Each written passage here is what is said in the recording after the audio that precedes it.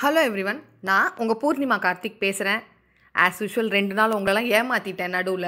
கொஞ்சம் சில பல வேலைகள் இருந்தனால தேர்ட் பார்ட் அதாவது ஃபைனல் பார்ட் இரும்பிலே இதயம் பேச முடியல. தோ இன்னைக்கு இப்போ கேட்க போகிறோம் அதுக்கு முன்னாடி நிறைய புது சப்ஸ்கிரைபர்ஸ் வந்திருக்கீங்க.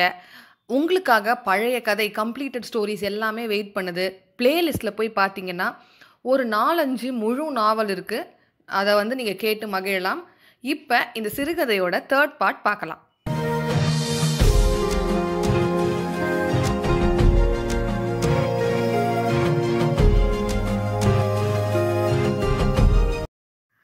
ரெண்டாவது பகுதியில் நம்ம என்ன பார்த்தோம்னா ஆறாம் நாள் காலையில் ஜமீன்தாரோட அழுக சத்தம் கேட்குது ஐயோ சிந்தா இப்படி கண்ணு முழிக்காமல் கிடக்கியே.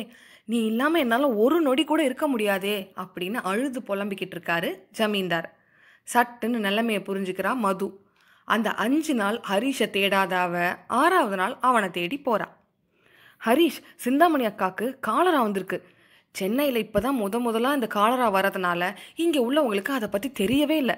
நம்ம தான் நம்மளோட ஸ்கூல்லேயே இதெல்லாம் படிச்சிருக்கோம்ல. அதனால் நம்ம தான் முதலுதவி செஞ்சு இவங்களை காப்பாற்றணும் நீ போய் பக்கத்தில் உள்ள வைத்தியரை அழைச்சிட்டு வா அப்படின்னு அவனை அனுப்பிட்டு தண்ணி கொதிக்க வச்சு அதில் ஒரு ஸ்பூன் சர்க்கரையும் ஒரு சிட்டிகை உப்பும் கலந்து சிந்தாமணி அக்காவை குடிக்க வைக்கிறான் வைத்தியரும் வந்து சோதனை செஞ்சு பார்க்குறாரு சிந்தாமணிக்கு லேகியம் களிம்பு இதெல்லாம் கொடுத்துட்டு நீர் சத்து குறையாமல் பார்த்துக்கவும் சொல்கிறாரு வைத்தியர் வந்து செக் பண்ணிட்டு போனதுக்கு அப்புறமும் வைத்தியரை அழைக்க போன ஹரீஷை காணும். இவன் எங்கே போனான்னு தெரியாமல் உடனே பதறி அடிச்சுக்கிட்டு ஓடுறா மது.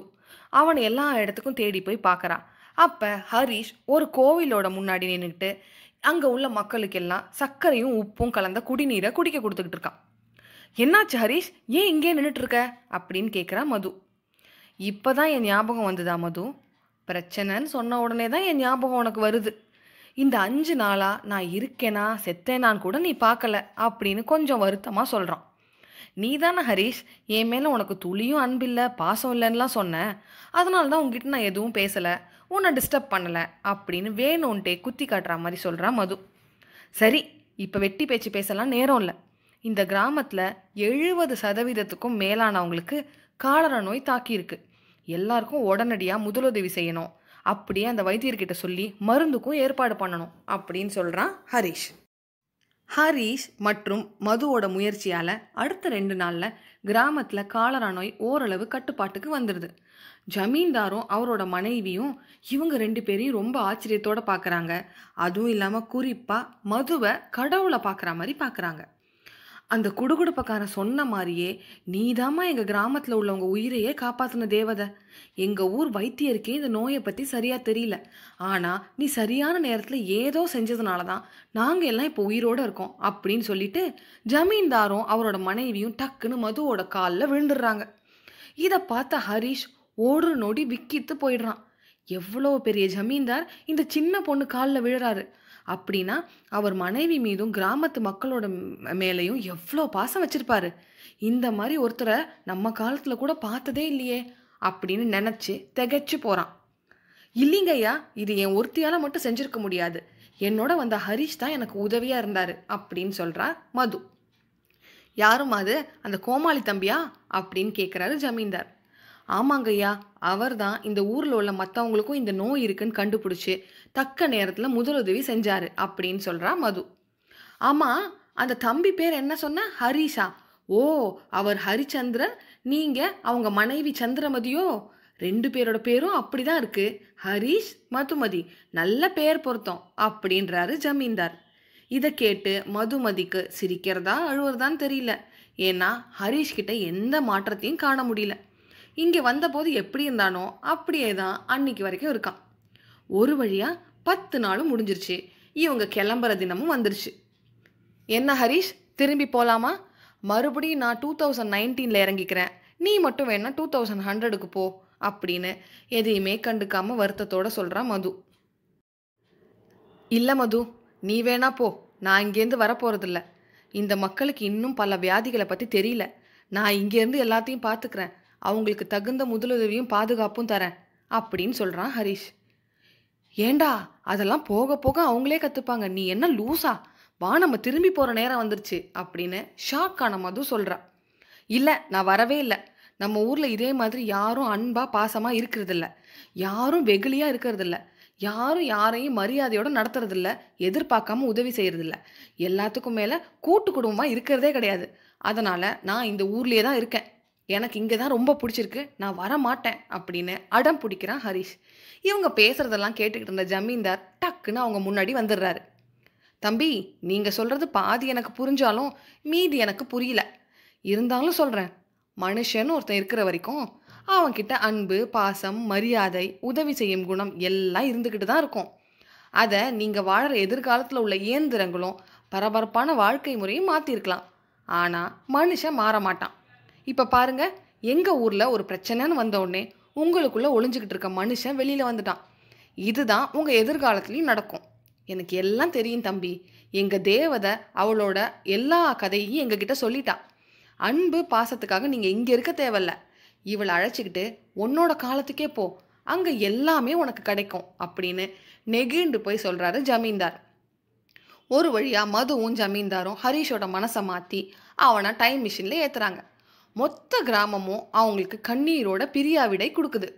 இவங்களோட நினைவா ஹரிச்சந்திரன் சந்திரமதி கோவில் ஒன்று கட்டுறாரு நம்ம ஜமீன்தார். இப்போ ரெண்டு பேரும் இங்கே வந்துடுறாங்க. வருஷம் ரெண்டாயிரத்தி பத்தொம்போது. பத்து நாள் கழிச்சு நகுலனோட அறையில் ரெண்டு பேரும் வந்து சேர்றாங்க. நகுல் அந்த அறையிலேயே சாப்பிடாம தூங்காம இவங்க ரெண்டு பேருக்காக காத்துக்கிட்டு இருக்கான். ரொம்ப டென்ஷனா. அப்பாடி வந்துட்டீங்களா? எங்கடா போனீங்க இந்த பத்து நாளாக ரெண்டு பேரும்?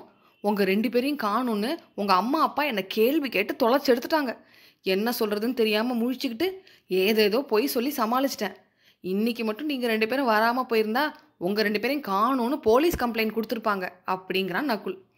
நகுல் கூர் சொன்னதை எதையுமே காதில் வாங்காத ஹரிஷ் முதல் வேலையாக அவனோட டைம் மிஷினை போட்டு உடச்சி குப்பையில் வீசிடுறான். என்னாச்சு மது? நீ பண்ண டார்ச்சர்லாம் ஒரேடியாக பைத்தியமாக மாறிட்டானா? நாலு வருஷமாக கஷ்டப்பட்டு கண்டுபிடிச்ச டைம் மிஷினை இப்படி உடச்சி வச்சிருக்கான் அப்படின்னு கேட்குறான் நகுல். எனக்கு எதுவும் தெரியாது. உன் ஃப்ரெண்டுக்கிட்டே நீ கேட்டுக்கோ அப்படின்னு சொல்லிட்டு அங்கேருந்து போயிடுறான் மது. என்னடா ஆச்சு ஹரிஷ்? அப்படின்னு நகுல் கேட்ட அடுத்த நொடியே அவனை இறுக்கமாக கட்டி பிடிச்சிக்கிறான் ஹரிஷ். இனிமே இது எனக்கு தேவையில்லை. நான் முதல்ல போய் என்னோட அம்மாவையும் அப்பாவையும் பார்க்குறேன் இருக்கிற நிகழ்காலத்தில் முதல்ல வாழறேன். அதுக்கப்புறம் இறந்த காலத்துக்கும் எதிர்காலத்துக்கும் போகிறத பற்றி யோசிக்கலாம். என்னைக்கு நாம் குடும்பமாக மனுஷனோட வாழாமல் இயந்திரத்தோட வாழ்ந்தோமோ அன்னைக்கே எல்லாம் போச்சு அப்படின்னு சொல்கிறான் ஹரிஷ். டே டே நில்லு. உன்னோட அம்மாவும் அப்பாவும் நீ எங்கன்னு கேட்டதுக்கு நான் நீயும் மதுவும் ஓடி போய் ரிஜிஸ்டர் மேரேஜ் பண்ணிக்கிட்டு தான் போய் சொல்லியிருக்கேன். எனக்கு வேற வழியே தெரியல அப்படின்னு சொல்லிட்டு தலையை சொரிஞ்சுக்கிறான் நகுல். அட்டா பாவி நகுல் அதனால தான் மாமாவும் அத்தையும் என்கிட்ட பேச மாட்டேங்கிறாங்களா? இன்னும் என்னெல்லாம் போய் சொல்லியிருக்க? அப்படின்னு பின்னாலேருந்து வந்த மது நகுலோட மண்டையில் குட்டுறான் மது அவன் பொய் சொல்லலை. அவன் உண்மையை தான் சொல்லியிருக்கான். எப்படி இருந்தாலும் அதானே நடக்க போகுது? அப்படின்னு சொல்லிட்டு கடகடன் ரூம்லேருந்து வெளியில் போயிடுறான் ஹரிஷ். கொஞ்ச நேரம் ஒன்றும் புரியாமல் பிரம பிடிச்சது மாதிரி இருந்த மதுவுக்கு மெல்ல மெல்ல இரும்பில் இதயம் முளைக்கிறது புரிய ஆரம்பிக்குது.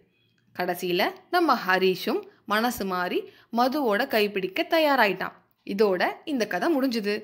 இந்த கதைக்கு பின்னாடி சில கருத்து ஆஸ் யூஷுவல் அது என்னன்னா இந்த கதை கொஞ்சம் நகைச்சுவையாகவும் கொஞ்சம் எக்ஸாஜரேட் பண்ணி அதாவது மிகைப்படுத்தப்பட்டதாகவும் இருந்தாலும் இப்போ இருக்கிற மனுஷனோட குணத்தை பார்க்கும்போது ஒருத்தன் டைம் மிஷினில் அவனை கொண்டு போய் பழைய காலத்தில் விட்டாதான் குடும்பத்து மேலே அன்பும் பாசமும் வரும்னு தோணுது. இயந்திரங்களோட வாழ்க்கை நடத்துகிற மனுஷனுக்கு இதயமும் இரும்பாகி இயந்திரமாக மாறிக்கிட்டு வருது. ஏதாவது இயற்கை சீற்றம் இல்லை ஏதாவது கஷ்டம் நடக்கும்போது மட்டும்தான் மனுஷனுக்குள்ளே இருக்கிற மனிதத்தை காண முடியுது. இயற்கை சீற்றம் வந்து தான் மனிதன் வெளியில் வரணும்னு அவசியமே இல்லை. முடிஞ்ச வரைக்கும் நாம் தொலைச்ச மனிதத்தை அன்பால் பாசத்தால் காதலால் நம்ம குடும்பத்தில் இருந்து மீட் மீட்டெடுப்போம். நன்றி வணக்கம். அடுத்தது வேற ஒரு இன்ட்ரெஸ்டிங்கான கதையோட வரேன். காத்துக்கிட்டு இருங்க. இந்த கதையை பொறுமையாக கேட்ட எல்லாருக்கும் ரொம்ப ரொம்ப தேங்க்ஸ் பழைய கதையை கேட்காதவங்க எல்லாம் பழைய கதையை கேட்டுங்க அது எப்படி இருக்குன்னு மறக்காமல் கமெண்ட் பண்ணுங்கள் அப்புறமா சந்திக்கிறேன். பாய்